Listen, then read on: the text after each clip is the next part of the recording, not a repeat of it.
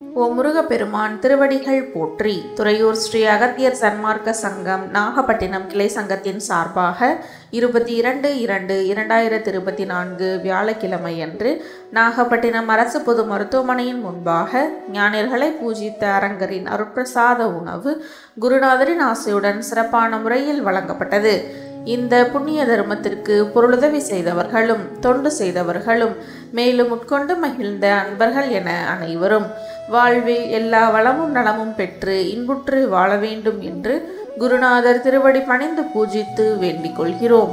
மேலும் தங்களால் இயன்ற பொருளுதவி செய்ய தொடர்புக்கு திரு சிங்காரவேல் அலைபேசி எண் ஒன்பது நான்கு நான்கு மூன்று இரண்டு இரண்டு நான்கு ஐந்து மூன்று இரண்டு.